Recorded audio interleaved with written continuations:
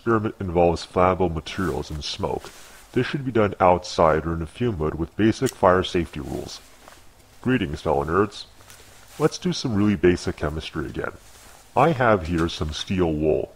It doesn't look like it, but it's actually quite reactive with air. To see this, first fluff it up a bit to give it more air between the voids. Now simply set on fire. As you can see, you get this nice light show of burning iron.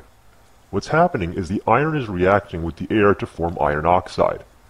This happens with almost all iron, but steel wool is more spectacular because the small strands and high surface area let it heat up to the point that the reaction is self-sustaining and burns through the wool.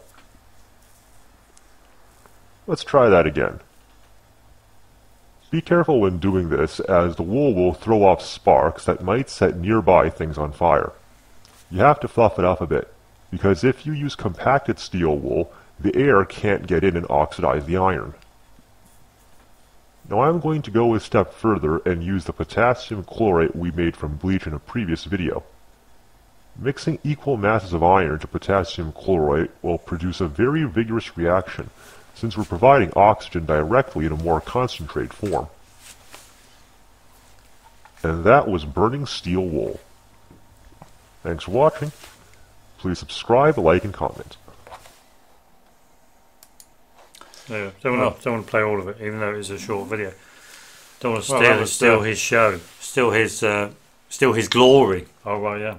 But one thing that's interesting when I watch this video, one thing that's interesting is that when you actually watch, as what he would say, the steel wool burn, Hmm.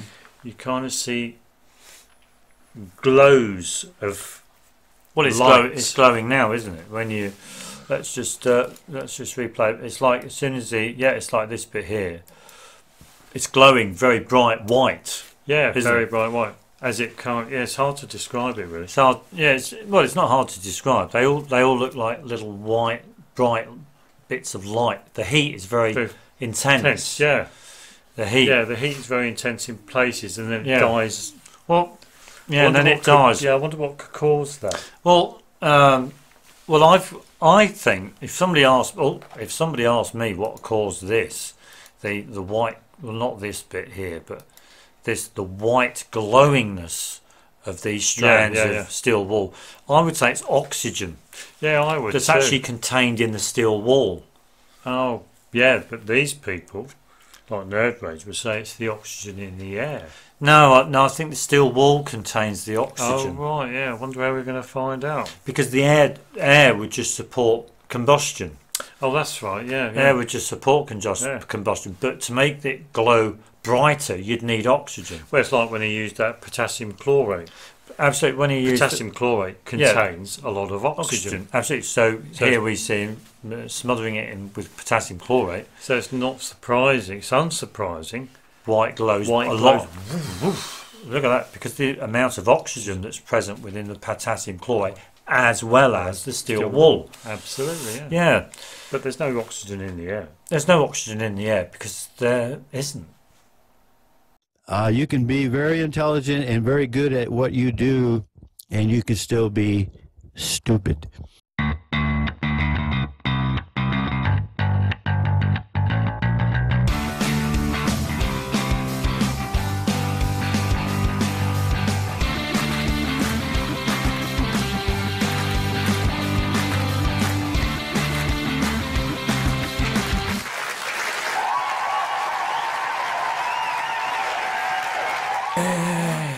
Yeah, well, we're back again, annoying people with our views and opinions because Oh, because loads of people really dislike hearing other people's views and opinions. Absolutely, a lot of people don't like hearing your view, hearing people's views and, and opinions, especially if they're right and you're wrong, No, you're right. or you're wrong. right and they're wrong. Absolutely, Because you can't be both right. or you're Sure. saying, or you're saying to somebody that they're wrong. Oh, right, yeah. Absolutely, But of it depends what they want to tell you. Well, it depends whether they're right or wrong, doesn't it? Oh, right, yeah. Really, because if they're right, then they haven't got a problem. But if they're wrong, then they. I don't know what it is with people. People don't seem to want to admit when they're wrong. Oh, yeah, but that's. Do you know what that is? I don't know why. Because they don't want to realise that they've got a problem. Oh yeah, they don't want to realise they've got personal problems, Problems. personal issues. Because we have to realise that when we go out and walk out in our daily, everyday walk of life, you're walking around with people who have problems. Who have problems? And Absolutely, a of lot course. of people recognise those problems, whereas a lot of, whereas there's lots of other people who don't. Absolutely, of course, yes, of course. It's so nice to actually have that understanding that the people who you uh, work with, members of your family, uh, the people who you socialise with, Hmm. a lot of them have got problems. Yeah, I know. Yeah, but one the thing is, is that people who recognise that they have problems Yeah, yeah. are a lot happier. Yeah, I mean, I've got my own personal problems. You know, So I've, have I. I've got to admit that because I have. I'm not going, going to deny that. But I have to admit, I'm genuinely open about my oh, life. Absolutely, And I feel so, I do feel freer. absolutely. Whereas feel- the people who, who think that they don't have a problem, and it's, and it's they're, other people, they're kind of trapped yeah, within themselves, aren't they? yeah. They can't really enjoy life. People like that can't really enjoy Oh, life. yeah. And the thing I find, and that is, if you're not enjoying your life, it's not worth living at all, is it? Absolutely, Absolutely, of course. So there's a moral in the story there. Always enjoy, Enjoy your, your life. absolutely, Otherwise, it's not worth living. absolutely, Of course. yes. Absolutely. So let's get on. And what have we got on for everyone's displeasure Oh, for tonight, well, Peter? For, well, for everyone's displeasure, we've got a great video for everyone tonight. We're going to have a look at the reducing agent, or the source of hydrogen in cadmium and indium. Yeah, we're going to follow on our idea we're that hydrogen is the Is, Is the the- key is- key thing that uh, the key thing. that you needed to produce a metal. to- absolutely, yeah. because metals, all metals contain Hydrogen. hydrogen. That's our understanding, of course. Now we're going to revisit uh, Lavoisier. Ah, Monsieur, Monsieur Lavoisier. Lavoisier. We have it in for you. Yeah, absolutely, Monsieur Lavoisier. You are the person who developed your oxygen theory, Oh, and, right. but it's all rubbish, Ish. Monsieur. Yeah, because when we put forward our view that there's uh, of calogenation Hmm. and that so much of the air is absorbed into the material, When they're heated. yeah, some people might think, well, what happens to the remaining air then? Oh, of course, yeah. So I thought we'd look at that. Oh, there you go. We have the remaining air. We have some iota who's, uh, Some iota who's who's. one of our one of our followers, I'm on, I think she's a subscriber. I don't know. but she's that she's contacted us to let us know that she's got a song That So she's we've got a song, so we thought we'd have a little do a promotion part, Part. in the video. for her, Absolutely. and we're going to have a look at this. We're going to have a raid A raid on radon. on radon. Raid on radon. Yeah, so bring your air, your air raid shelters, your helmets. Absolutely, of Yeah. course, yeah, of course. And you can all pretend to be, well, the, for the male members, you can always prepare, pretend to be Bill Pertwee, can't Bill Pertwee, absolutely, Yeah. of course. And if nobody knows who Bill Pertwee is, or was, he was the warden on Dad's you? Army. Yeah. Absolutely. Mm. Absolutely, of Come on, course. let's go. What was the point of mentioning that anyway? Oh, and we've got some. Uh, we've did. We've done a little little demonstration with some steel wool. Which will link in with our video that we introduced with uh, at the beginning with Nerd Rage. Absolutely. Because he seems to think it's the oxygen in the air that's reacting with the steel wool. Well, so the oxidate it's this thing called oxidation. yeah. Oxidation. Yeah. Anyway. Oxidation. Oxidation, that's what you need. If you wanna oxidize, do do do do do do. Oh yeah, oxidation's what you need. If you wanna be an oxidizer, yeah. I quite like that actually. Absolutely, of course. But so so let's get on first, and Oh, we'll do very quickly. very quickly. Let's go on and have a little This look at. Oh, I was going to have a little look at Oh, some right. iota. Here you go. Here's some iota. Uh, a little lament about the media, the deceived, and the earth. Earth. Yeah. Absolutely, there's so many of them. Mm. Um, so here, let's have a little listen to this. Not long, but let's have a little listen.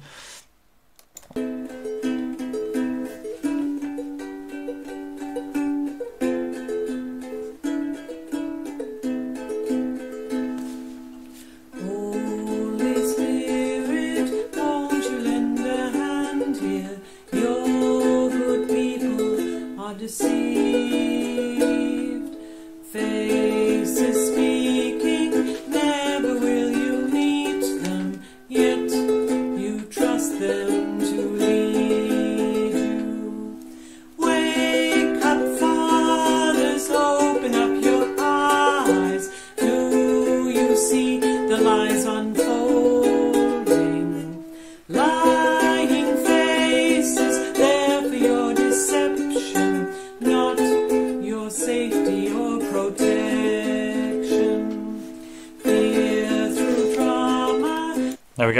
play all of it, but thank you ever so much, Summer Iota. Uh, we just thought we'd promote th- promote her song. If anyone wants to go on the channel and leave a comment or listen to the whole song, uh, she's even put the uh, the, Lyrics the lyrics down there. There If you want to have a little look, and um, there you go. Yeah. She's very interested in uh, oh, what's it called? Um, natural kind of living, living Naturally. off the land, living independently of society, and you know, doing off-grid yeah. kind of stuff. Right, yeah. So I mean, if anyone's in- interested, you know, feel free to uh, contact Drop her a know, line, drop a yeah. line, get involved. yeah. So thanks very much. Yeah, Summer thanks very much, Summer. Yeah, absolutely, of course. So there's that, and what next? We do uh, Lavoisier, come on. Lavoisier. Here we go. Now Come. we've got this video here, the discovery of oxygen and combustion, 1946, educational film or indoctrinal, indoctri- indoctrinational film. Film. Oh, right, yeah. Absolutely, of course. Uh, so what we'll do is we'll play this, and then we'll we'll stop it, and then we'll have a little chat about it. Okay. Because all we're going to demonstrate, or sorry, all we- we're going to show to people is what Lavoisier did many, many years ago. Many many years to ago. determine what to, to, to help him come to the conclusion in his mind The false conclusion that there's 20%, 21% oxygen in, in the air. That's it. So let's have a little listen to this. Are you ready? Yes. Priestley's discovery gave him the clue. Lavoisier proceeded to experiment with mercury and finally demonstrated his new theory. He poured exactly four ounces of mercury into a long-necked flask or retort.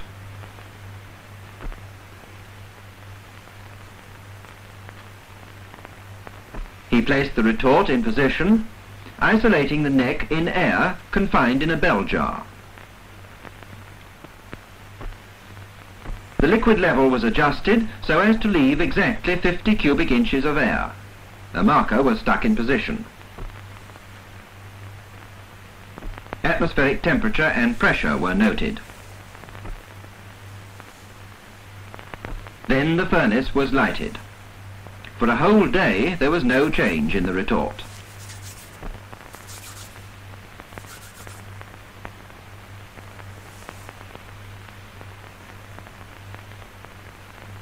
But on the second day there had appeared on the surface of the mercury a few red spots.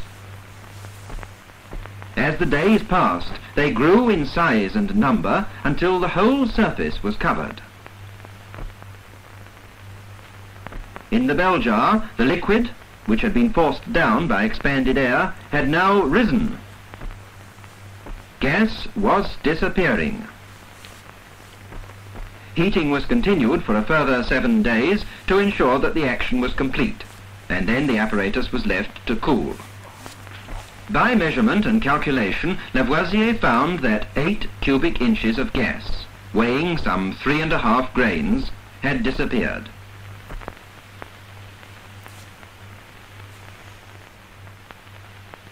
Yeah, that's all you need to. Right, so there's an amount of, well, what he would call gas that had disappeared, Uh, yeah, there's a reduction in the Yeah, airspace. but he's not actually determining whether that that what the amount that's disappeared is separate from the amount that was remaining. Well, he came to the conclusion that the air that had been absorbed into the mercury or reacted with mercury was of a different kind or separate Hmm. to the remaining air. Yeah, because if you just move it forward a bit, when they when he tests the remaining air here, Oh, here. yeah, here, Yeah, he There doesn't test it here, does he? yes, he does. Does no, he doesn't. This Yes, is the does. oh, this is the remaining air. Yeah, the remaining air that's left in the Bell jar. Bell jar, yeah. Okay, let's have a listen to this. Oh, yeah. Well, what about the air in the retort? What about the air? There in would the have been the air in the retort. Anyway, come on. Sure. Yeah, sure. Anyway, let's listen to this. Tests on the remaining gas showed that it had lost its active part and would no longer support combustion or life. Now, now a lot of people would say who support that it The oxygen theory, Lavoisier's oxygen theory. would say that that's nitrogen. Yeah, a lot of people would say that's nitrogen. Now, in our understanding of calogenation, the mercury would have Yeah. absorbed so much of the air. But don't, yeah, only so much of the Only air. Only so much of the air. because it, its surface area was exposed. It's, it had a limited surface area that was Well, it's all, exposed it's to all the, relative, It's all it? relative, yeah. It's all proportional, Proportional, to yeah. the size of the flask, amount of air in it, the amount of air in it, and the amount of mercury. mercury that was exposed to the air, Yeah. had contact with the air. So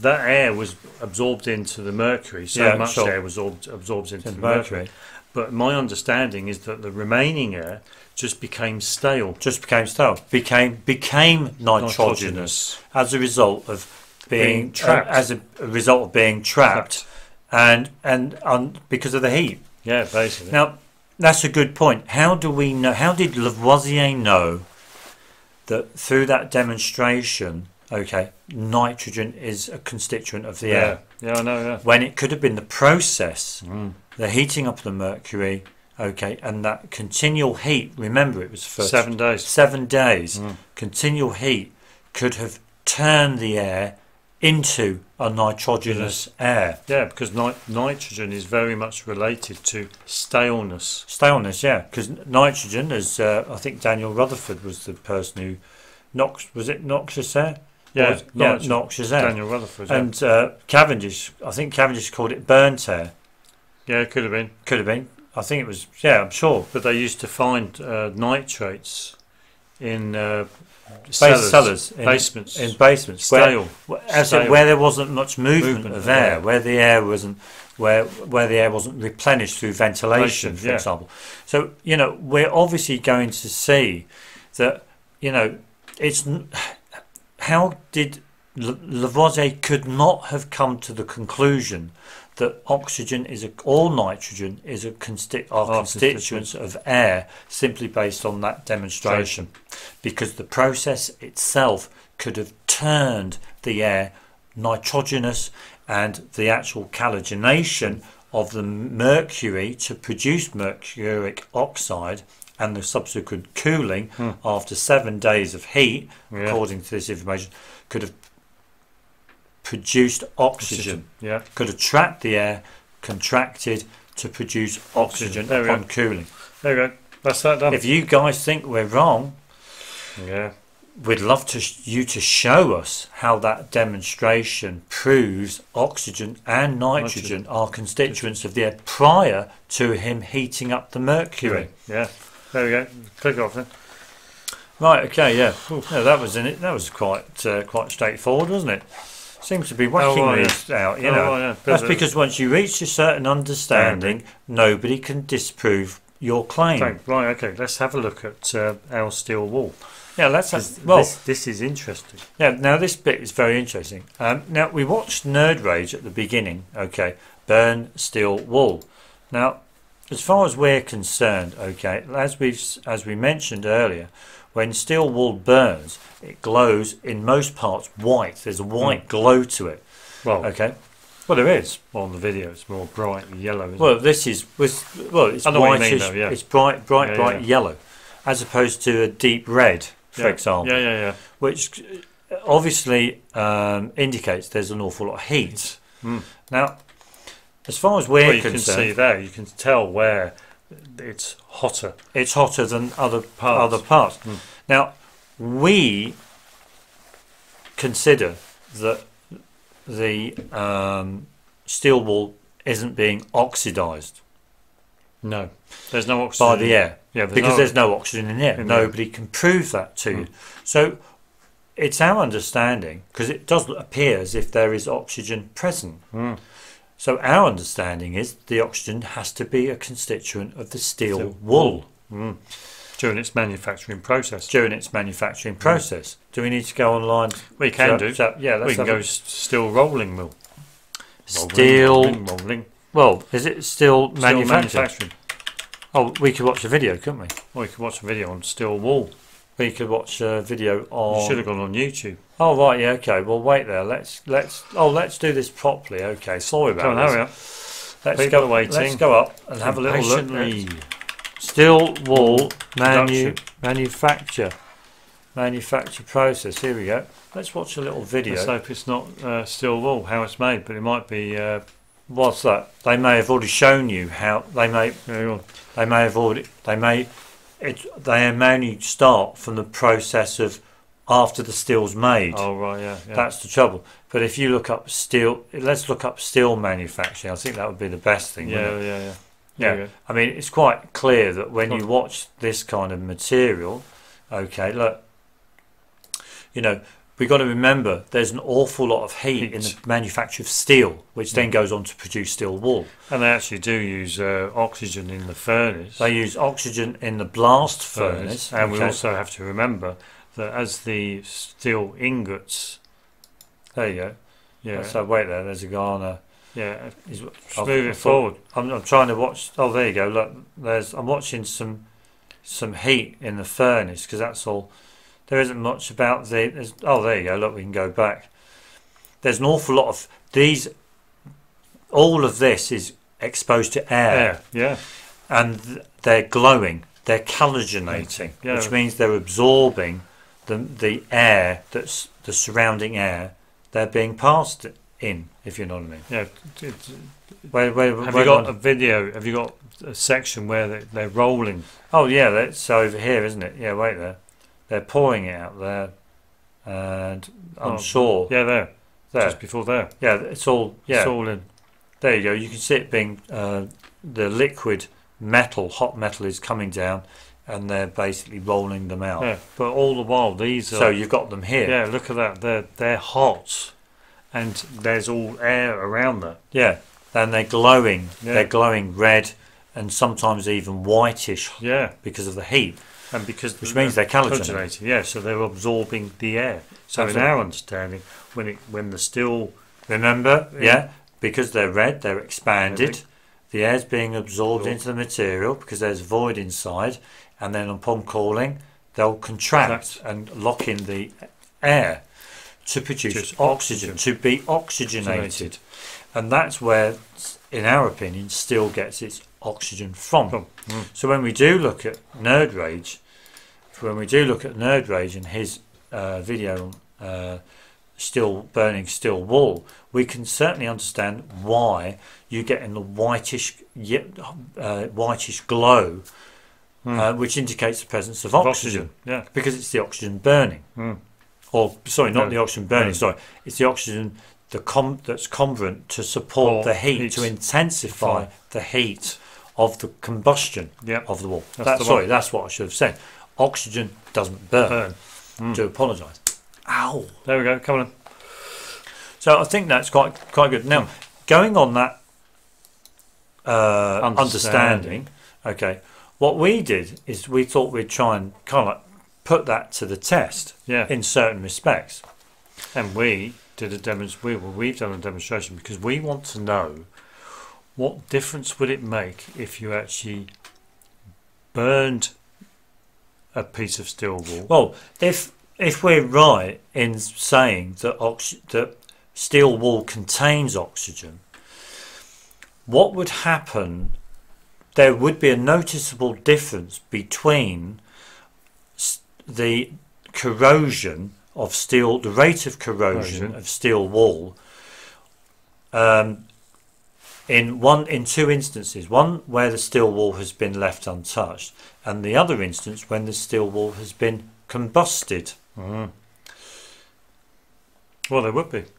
There would be. Because think if you think of like this, in our understanding, oxygen preserves materials, doesn't it? Oh, oxygen preserves materials. So if you've got some wire wool and the oxygen has been released because we've burnt the wire wool to release the oxygen, then in theory that should corrode much quicker, quicker. Absolutely. than the other one. than the other one. So, yeah, that's basically the understanding. So what we've got here is we've got uh, we've got uh, two pieces of wire wool. The only problem Scales. with the only problem with that understanding is that we added vinegar to the water, Oh, sure, and that may have um, that may um, affect. effect because It's possible. Yeah, but they both have got have been been exposed to it. Right. Okay. Okay. Okay. So we've got a jug of water there, and we're adding some acetic acid to the Just to just a drop. Yep. Okay, there you go to the uh, water. Okay, so th- we've only added the acetic acid to speed up the rate of decomposition of the steel wool. Mm. Uh, otherwise, we've been waiting there for Yeah. Come on. quite a few, quite a few weeks even. So we've done that. Okay, we Give it stirred stir. it, give it a Come on. stir, and what we're going to do, we've got two pieces of wire wool, and we're going to weigh them just to show everyone that they are of the same weight. Yeah. Okay, wait Yeah, there. come on. So there's There there's one piece of steel wool, There you go. Four point four five. four point four five. There we go. So we've got that one. There you go. Pop that off. Pop it on the uh, pop it on a paper towel, Next and we're going to do the same one. And we've got Oh, four look at that. point four five. Look at that! Is- Oh, didn't, clever. didn't you Mm. do a wonderful job Yeah. in getting these exactly the same Same weight. weights? So we've got them like that, like so. So that's good. Our next thing is uh, what do we do? Let's pick that up. So we've got some tweezers. So the next thing we do is we burn or combust one piece of Wire wool. wire wool. Mm. Okay. To release the oxygen. To release the oxygen, of course, because we've got to remember when one combusts steel wool, it gains in weight. Wait. Yeah. So wait, I think we're looking for something to. Oh, I suppose the plate was good because so there's our steel wool. Got it in the tweezers, and we've got. Oh, well, we could have done. We could have weighed the plate and then burned the steel wool over the plate. no, I don't think it matters because we actually weighed this and it was more. Oh, right. Yeah. Because the, the thing I find is a bit odd, and that is you, you see all these little bits dropping off Mm. the wire wool. Anyone would think that the wire wool would lose weight, Wait. Yeah. I know. Yeah. but it doesn't. It actually gains weight. Yeah. Okay. Yeah, but I think it's because it breaks down inside Yeah. so that they because when it's together it's more compact. Sure. Absolutely. One thing I do know, and that is it cools down very quickly. Mm. It cools down and very also quickly. one thing you, we, we've got to notice about it, and that is it. T- some places turns black. turns black because that's the carbon, Carbon, content. Yeah. But uh, actually coming uh, to the surface, Surface, yeah. of the material. So we'll wait for the glowing to extinguish, and we've got There it out there.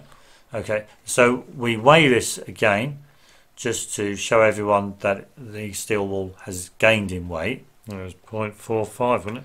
4.45, was it not? And it's Four point 4.56, Six, yeah, so it's gained in 4.57. weight, Yeah. So it has gained in weight, okay. So we can say that it has been combusted, Yeah. obviously. So what we do is we dip it in the, uh, we dip it in the, Dip in, In- the vinegar. in the vinegar. Got it. Okay, there we go. We dip it that in the vinegar. Give it a wash. Give it a little wash over, and then pop it on the paper towel. Yeah. There we go. There we go. Leave that on there, and do the same with the other Other one. piece of steel wool. Um, Go and move forward. there we Come go. on. Yeah, yeah. I don't want to. There's not much left of it anyway. Do the same to the other piece of steel wool. Okay.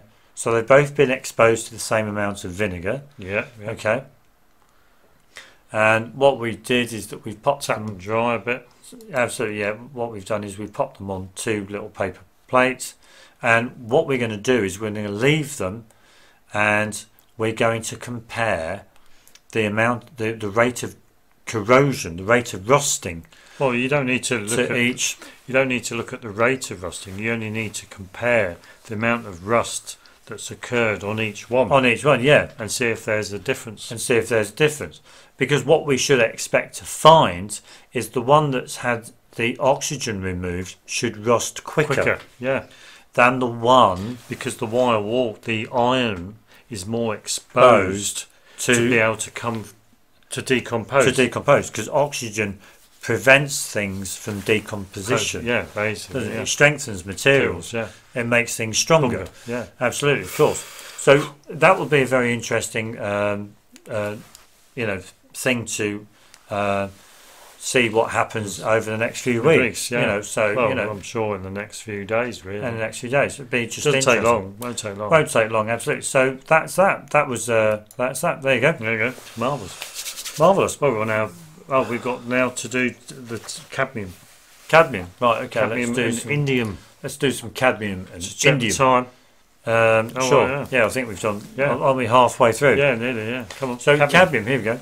So what? Now it's our understanding that hydrogen is um, all is present in all reducing agents, And it's the hydrogen that enables a metal to become a metal. or it's one of the things. But you know, Oh, well, hydrogen, yeah. because I'm sure there could well be other things that. Well, The hydrogen. But you need the metal. the sorry, you need hydrogen. Yeah, the hydrogen is within the reducing agent, and the reducing agent is within the metal. It's always within the The metal.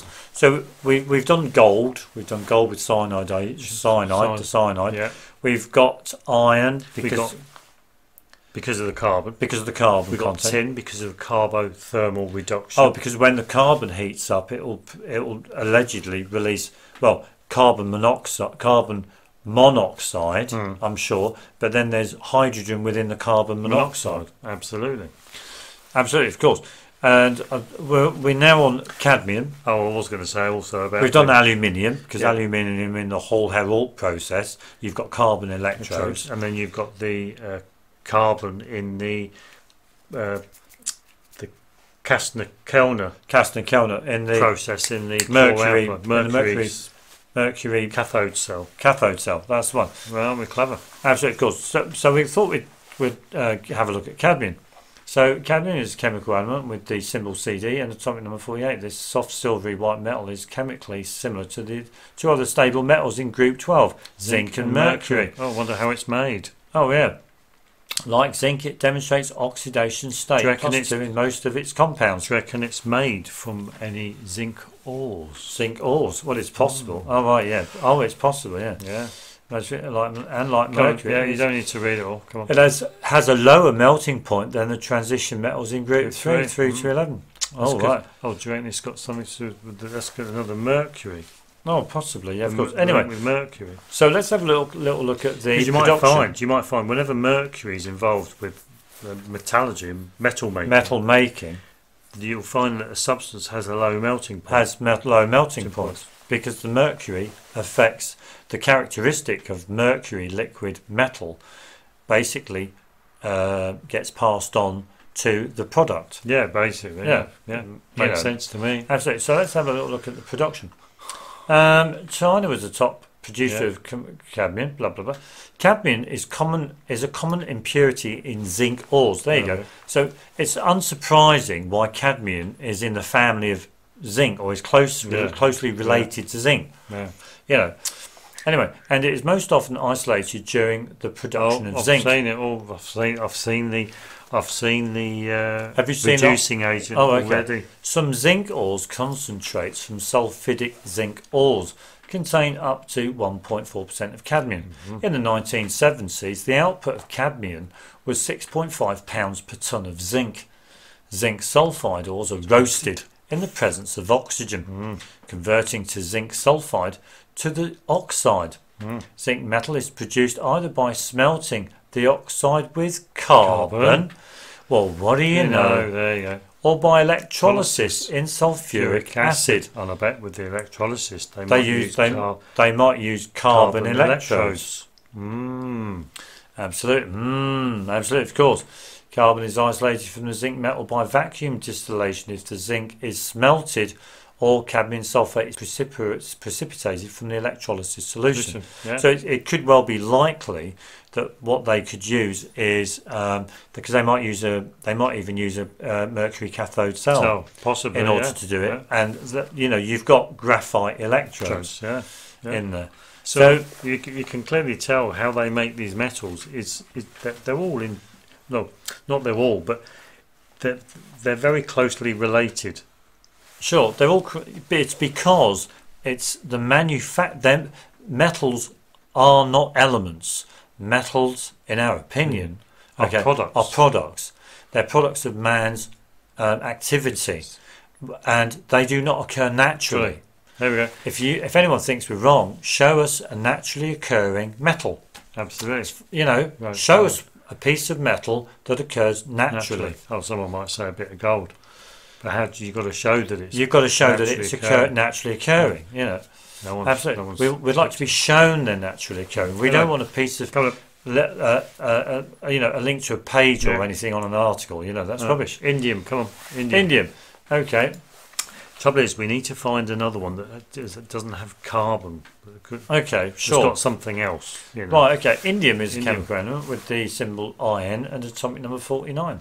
Indium is the softest metal that is not an alkali metal. Oh, do you reckon there's? Uh, I wonder if there's. Um, uh, yeah. oh, right, yeah. Hold It on. is a silvery white metal that resembles tin in appearance. Mm. It is a post transition metal that makes up uh, 0.21 parts per million of the Earth's crust. Indium has a melting point higher than sodium and gallium, but lower than lithium. Now. I'm, now I'm beginning to think because I know sodium, these the alkali, the al, is it alkali or alkaline earth metals? You can actually um, cut them with a knife, like You- sodium, Potassium, potassium. lithium. So I'm, I'm wondering because indium is the softest metal that is Yeah. not an alkali metal. I'm just wondering whether there's sodium or lithium or In something it. that's soft that's it. used to, to make, make it. Absolutely, of course. Well, let's have a little look then, see what it's see what it's made. Here we go. Well, it's produced. A current Produ- production. production and Here we availability. Here we go. Now, indium is produced exclusively as a byproduct during the processing of the ores of other metals. Mm. Its main source materials are sulfidic zinc Zinc ores, ores, oh. just like the uh, cadmium, Yeah. um, where it is mostly hosted by sphalerite. We've come across sphalerite, Yeah, haven't we, before? Minor amounts are probably also extracted from sulfidic copper ores. Ores. During the roast leach electro-winning process of zinc smelting, um, indium accumulates in the iron-rich residues. From these, it can be extracted in different ways. It may also be recovered directly from the process solutions. Further purification is done by electrolysis. Process. The exact process varies with the mode of operation of the smelter. Not really telling you how much, how it's made, though, is it? No, not really telling you how it's made, but uh, let where would No. we find the bit where there's a No, it doesn't tell you. it doesn't tell That's you, all does it tells you on the Well, that's not very good, is it? Yeah. That's very good. Not that's not very good. Who? How did they discover it then? Let's have a little look at the discovery. Oh, here we go. Occurrence. History. Go. In 1863, the German chemist Ferdinand Reich and Hieronymus Theodor Richter were testing ores from the mines around Freiberg, Saxony. They discovered the minerals pyrite, arsenopyrite, galena, and sphalerite in hydrochloric acid and distilled raw zinc chloride. Reich, who was colorblind, employed Richter as an assistant for detecting the coloured spectral lines.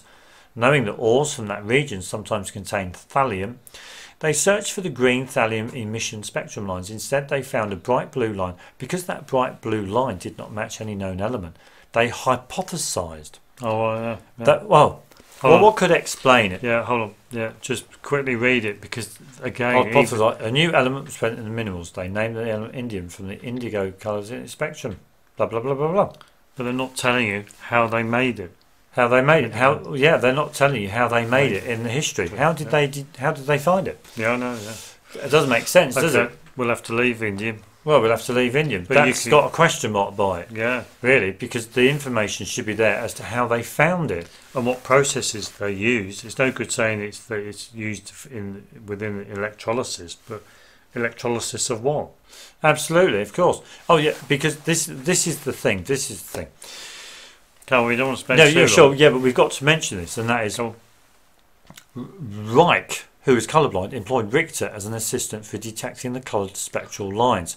So, in other words, basically, what they're saying is is that they they made something, and they did the spectroscopy on it, Yeah, and they found it had a line. So they had, and they reached a hypothesis. They hypothesized a new element was present in the minerals. They had an idea But Oh, what uh, did they do to test that idea? Don't know. You tell us. You tell us. You tell us. You will. You will. Tell, Tell talk, us. tell yeah, us. you will. You will talk to us. You will talk. Come on. Absolutely, of course. But this is the whole point. Was it a new element, or basically did they just hypothesize? They come up with the idea Hmm. that it was a new element, Mm. but it wasn't really. Yeah. Of course. So, So, we can't do anything there. we can't do anything there. So the the jury is out. I'm afraid on that one. But what what, what we'll have to do Let's do a bit, a little bit more do a research. bit more research. But I'm sure because it's soft, it's got to. Where did it get the quality of softness from? Sure. It's got to get the quality of softness from somewhere. Absolutely, of course. Yeah, just uh, yeah, but uh, it may also be recovered directly from the process solution. Solution. Further purification done by electrolysis, and it's, it could be that they use carbon Carbon, carbon electrodes. carbon Electrodes. electrodes. Yeah. Anyway, so there Well, you go. In our understanding, they would have to. Absolutely, yeah, of course. So uh, let's have a look. If anyone's watching and wants to do a bit of research to find You out, you can Google um, carbon electrodes, electrolysis, electrolysis, indium, electrolysis, Indium, yeah. absolutely, of course. But uh, that's Take it off. Clear it off. There we go. So that's off. Clear that off. That's off. And are we on our? We're on our main. So we don't need a reducing agent at No. all. Well, because No. carbon's on there anyway. Carbon's on there. So We'll, that's we'll it, have to we'll have to find a, a metal that doesn't have a reducing agent that has another reducing agent Sure. other than carbon. Yeah, we've we've done all that. Right, so we're Right. now on our our radon radon. Dum dum dum dum dum.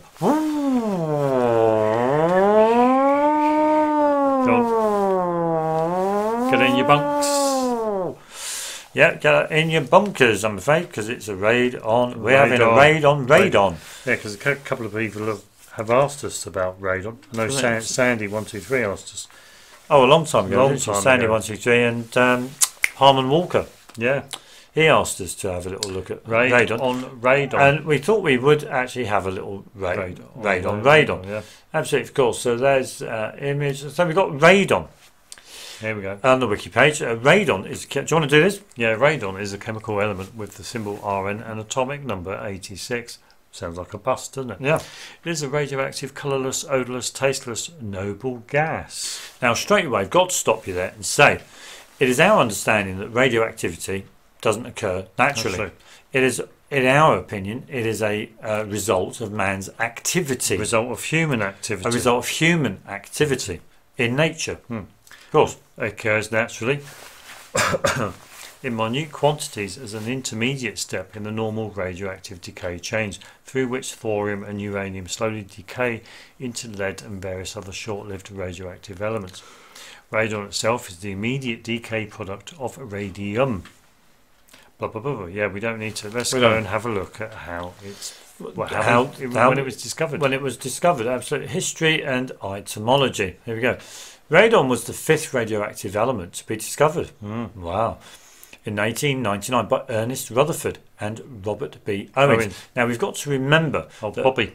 Ernest Rutherford, okay, was very much used to play around, especially with uh, Cockcroft and Walton, Oh, well, yeah. With high voltage. with high voltages. Mm. We've got to remember this. Yeah. This is what they, this is what Ernest Rutherford was doing. Yeah. He was basically bombarding materials with high voltages, voltage. Yeah, basically. Yeah. zapping them. Mm. Uh, anyway, um, at McGill University in Montreal, after uranium, thorium, radium, and polonium, in 1899, Pierre and Marie Curie observed that the gas emitted by radium remained radioactive for a month. Later that year, Rutherford and Owens noticed variations when trying to measure radiation from thorium oxide. Rutherford noticed the compounds of thorium continues, continuously emit a radioactive gas that remains radioactive for several minutes, and gas And and called, this gas, emanation. Oh, and later, thorium like- now emanation. how do you know it's a gas? It's just an emanation, isn't it? Absolutely, of course. But uh, in 1900, Friedrich Ernst Dorn reported some experiments in which he noticed that radium compounds Yes, emanate emanate a radioactive radioactive gas he named radium emanation. Mm. In Right. 1901, Rutherford and Harriet Brooks demonstrated the emanations are radioactive. Wow, Mm. that must have been quite easy to do. Yeah, but credit to the Curies for the discovery of the element. In 1903, similar emana- emanations were observed from actinium by André Louis Debierne and were called actinium emanation. Several shortened names were soon suggested for the three emanations, uh, blah blah blah blah blah blah. And in in 19, ni- 1918, they had quite a few, and eventually radon, thoron, and actinon in 1920. The name radon is not related to that of the Austrian mathematician Johann Radon. The likeness of the spectra of these three gases with those of argon, krypton, and xenon, and their observed chemical inertia led Sir William Ramsay, yeah. it's that man again, Yeah.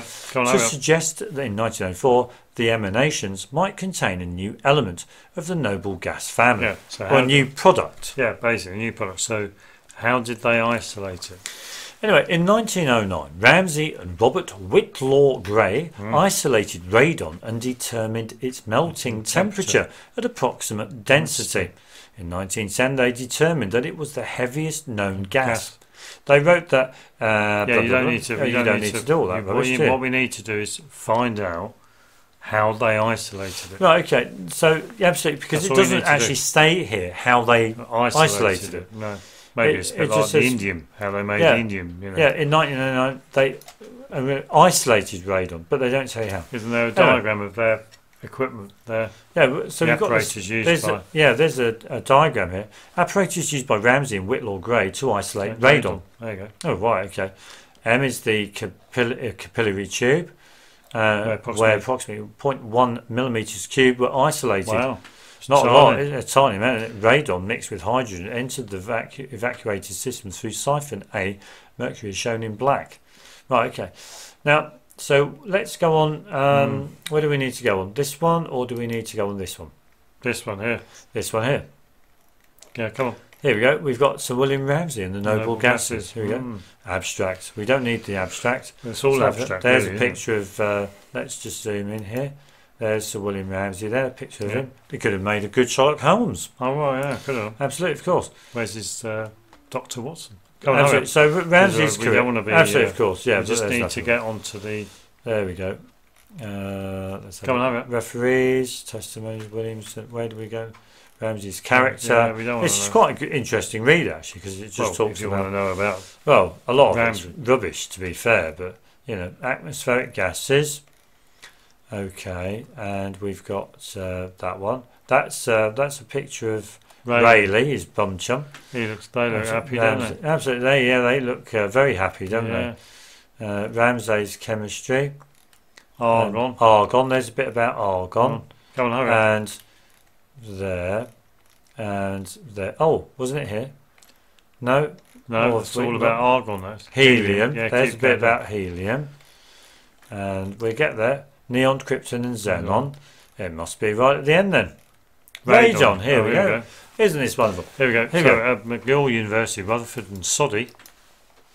Soddy has has shown that heavy elements such as thorium and radium give, gave off a gas, which they called emanation, In minute quantities. which appear to be chemically inert. Might be a further noble gas that could fill the gap below xenon in the periodic table. It's as if they know where they're going to put all these. Yeah, I know. Yeah, sure. They attempted to determine its density, which would give the atomic weight, but they could not get a reliable value. Because they had problems in handling small amounts, didn't they? Small quantities. Small absolutely, of course. Yeah. quantities of gas. Only Ramsay had the technique of handling such small amounts of gases, and in 1903, Soddy joined Ramsay. The gas showed no discharge spectrum, but after a time, the spectrum of helium developed. Hmm. This was the death knell of the indestructibility of the atom. Dum dum dum. Right, okay, go on. As we saw earlier in Ramsay's song, we don't need to absolutely. course. The only way to confirm the emanation that they first called niton and later radon was a noble gas was to determine its density. And Whytlaw Gray in Ramsay's laboratory built the balance which was sensitive to 10 to the minus 8 G G. and is shown in figure 19. Two. It was a modification of a design by Steele, one of Ramsay's students, who had then moved to Australia. The blame, blah blah blah. So that's a picture of the. Wait there. That's the tape. There's a picture of the diagram. Balance. Uh, is a Mm. bulb. Okay, so absolutely, and then it carries on. Uh, the tip of the tube that goes. That that just describes how the machine worked, how the device Yeah, worked. yeah. In 1904, Ramsay was awarded the Nobel Prize in Chemistry with a citation in recognition of his services in the discovery of the inert gaseous elements in air. For producing. Absolutely. yeah, sure. well, sure, of producing. But has anyone not noticed anything yet about the text?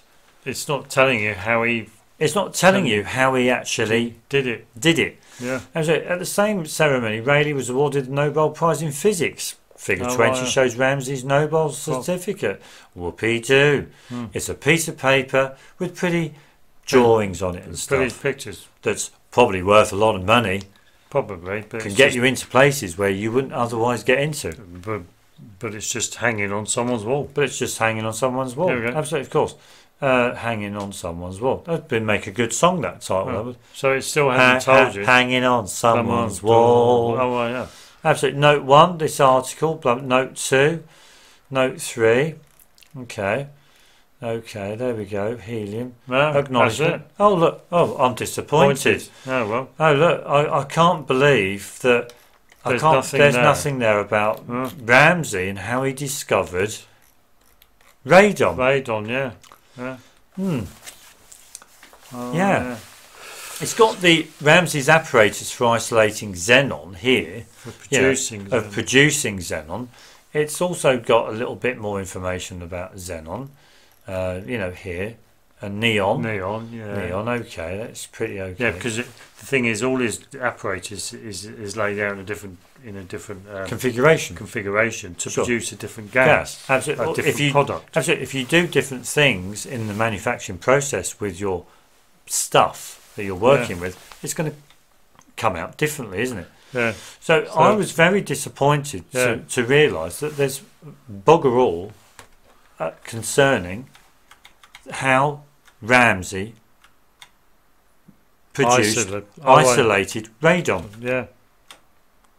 Oh well, yeah. There's absolutely nothing there. There's absolutely nothing there. All is yeah. And they talk about Whytlaw Gray's balance. I Yeah, I mean, know, what's yeah. what's the point of that? yeah. Yeah. Now, Which you know, it does make you wonder if they're only measuring like 0.01 millimeter cubed Sure. of air. It does Yeah, actually sure. make you wonder whether it's how effective is is what they're actually doing. Someone might actually look at them and might think, "Can't believe you're doing that." yeah, you're just pissing about, about, with yeah. uh, just rubbish. It's a bit like Cavendish with his balls, Absolutely, of course. looking Yeah. through his, with his looking through his telescope, looking for the No, that's just on the of presence of helium in clevite.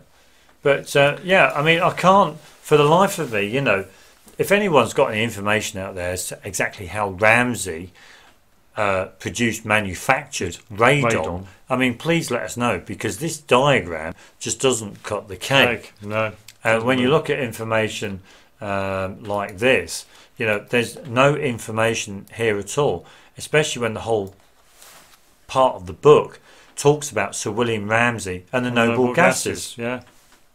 Yeah. Oh well. What So- about the uh, radon element? Oh, because it doesn't tell you even in Wikipedia. It doesn't tell you even in Wikipedia, Wikipedia. how radon was actually Oh, yeah, uh, was, was was was actually isolated. Related, Yeah. Apart from this little diagram that could have come out of someone's scrapbook. Yeah. So one has to ask oneself: Does it actually exist? Does it actually exist? It could be a pseudo Element, substance. pseudo substance. Yeah. Absolutely, of course. Let us know your views. You know, at the end of the day. But you as far as I'm concerned, I can't. Un, I can't accept this information to be proof that radon is a real gas, Yeah, know. Yeah. noble gas. I, sorry, Yeah. I can't do that. In our understanding, what because they found, I'm sure they found radon in, in mines when they were uranium mines. Sure, And what could have happened was that I mean, this is only my thoughts. thoughts on it. What could have happened was that through all the blasting and all the drilling, all that human activity, because uranium may have a certain quality Hmm. of re- re- releasing radiation. If Yeah. you, I don't know, wh- where you- an explosion is uh, Yeah, yeah. uh, Occur. happens- Yeah, occurs sure. nearby. The, the, the, the radon is released, the gas is released, but it's only because of the the, the, the human activity. Yeah, sure. If you took that human activity away, it, It doesn't exist. It doesn't exist. this is what we're saying. All all throughout our videos, we're we're looking at man's fabricated world. We're looking at how man um, constructs his understanding of the natural world through only only through the way he can interact with the world, the natural world. Oh, did we not want to look at Clevite? Well, I've, we've got the page up. I can't remember why we wanted to look up Clevite. Someone, someone, someone did use some acids on Clevite, didn't they? Yeah, and that they well, according to this one, they would just just have produced helium. Uh, they would have just produced helium Oh right. on Okay. on Clevite. Maybe Yeah, when a mixture to- of the mineral with potassium bisulfate was heated in a combustion tube, a gas was given off, which passed over red hot copper and collected over a concentrated potash solution. Hmm. Sure. By comparing the spectrum of the gas with that of the tube of argon, it was found that it contained no argon lines. The following of a wavelength, blah blah blah blah blah, of a new gas, and I think it was all to do with um, uh, helium. I think, but I can't. I can't remember why we got this. In Nature for May the second, two papers communicated to the Royal Society on April 25, 25th by Professors Ramsay and Lockyer. Yeah. So we've got Ramsay. Oh, next article page in full. The first describes the circumstances which led to the discovery of the new gas and gives a qual- qualitative no, comparison of going, the we're off. spectra in argon and helium tubes. No, we're going off on a tangent now. We're going off on one. Yeah, Absolutely, of course. Uraninite. Click off. Uraninite. Yeah. Absolutely, of course. Uraninite. Come on. Yeah, there's nothing there about. Uh, yeah, there's No. nothing. There. We sorry, we we do Going apologise. off for on a tangent there. But uh, yeah, absolutely. Radon. You know, Well, we need to look at more information. We look at we need to look at more information, but it appears from the information we've looked at that radon appears to be a pseudo element, Element, yeah. a pseudo product. basically. Yeah. I mean, it could well be have been produced, but nobody can show you radon. No. Nobody uh, can show you it. You know, so how Yeah. do we know it actually exists? This yeah. A lot of people talk about stuff that basically doesn't exist. is fictitious. Yeah. It could be a fictitious element, Yeah. a pseudo element. Well, even if you watch the periodic videos, periodic videos, Periodic. they're they're one on radon. They don't show you any. Absolutely. So how do we know that it? They just tell you about it. well, that's yeah. I mean, Yeah. I, you know, if somebody tells me they got a fiver in their pocket, with the way human beings are and the amount of mistrust in in man's world, I'm certainly not going to accept what they're telling me to be true.